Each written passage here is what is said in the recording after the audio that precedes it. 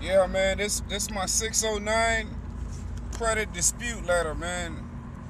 Uh, before I go into it, I want to say, man, uh, you know, follow the channel, like the page, and you know, this information is for entertainment purposes only.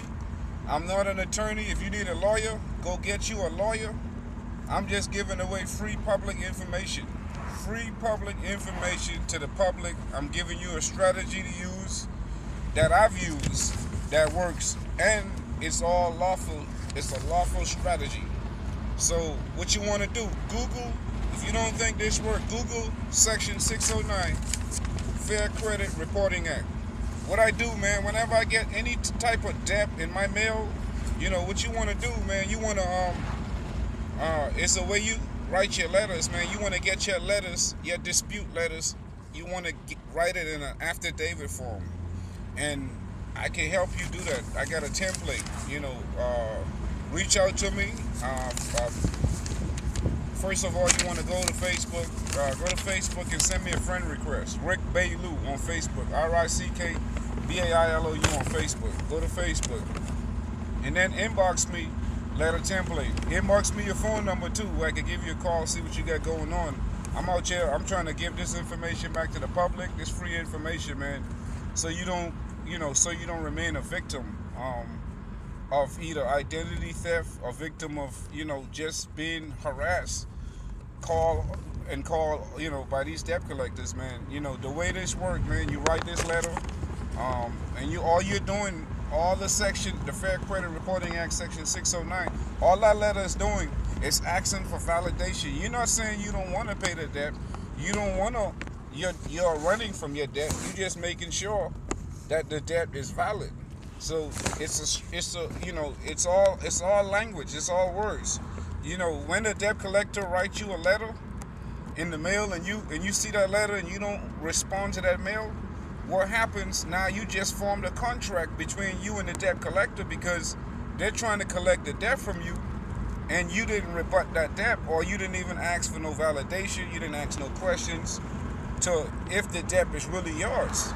So, you know, to show you proof, man, I'm just gonna read the last paragraph of my of this debt validation letter because listen, it's illegal. They're protected. You know, the the credit, the debt collector industry, that's a mafia industry, man. That's an industry where, you know, they rape you and oppress you financially and they hurt your credit score. Without credit score, man, you're nothing.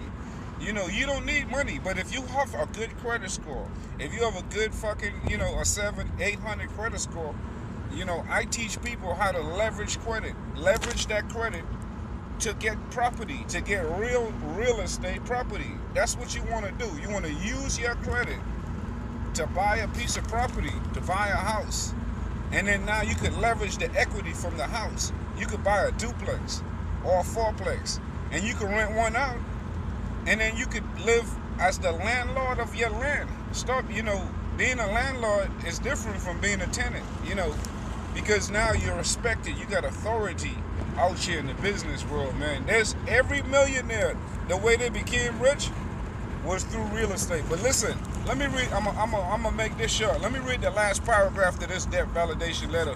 Because listen, you could go after these debt collectors for money if they don't if they can't validate the debt. You ask they you know because they're coming after you for money, trying to extort money from you, and you don't owe them no money because your agreement, if you, there was an agreement between you and an original creditor, was between you and the creditor. So it's a it's a process where debts get erased. But let me read this last paragraph to show you how powerful this letter is.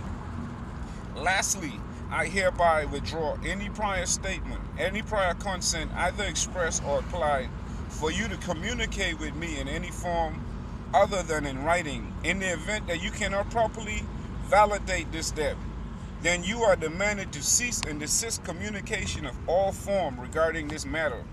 Any communications from you, any agents of subsidiaries, will be regarded as willful neglect along with any other applicable violations and prosecuted to the fullest extent of the law if deemed necessary. Govern yourself accordingly.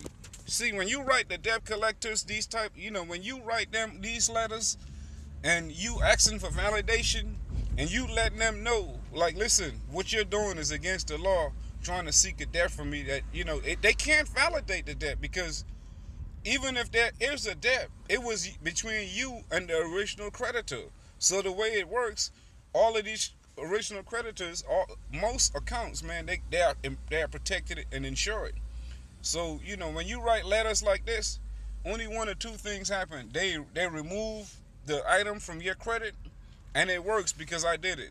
And all, um, you know, or either they remove it or they just start. They re, two things happen. They remove it and they start contacting you because you now you just back them into a corner.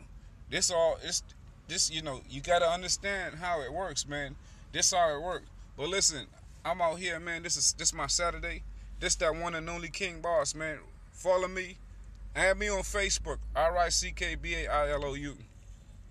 And um, I I explain how I send that template letter out so that you can start uh, you know, so that you can start erasing debts from your so that you can start erasing these debts or and paying off these debts, man, where you could, you know, leverage your lifestyle, man, where you could live a boss lifestyle, you know, where you could live good, you could live rich. We always meant to, to live rich forever, man.